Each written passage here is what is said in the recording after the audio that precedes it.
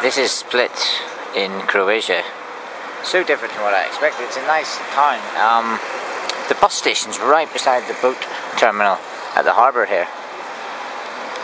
Um, just passing through and not really uh, enjoying it, but definitely would, uh, would consider coming back to see it properly, which is a silly thing to say when I'm here.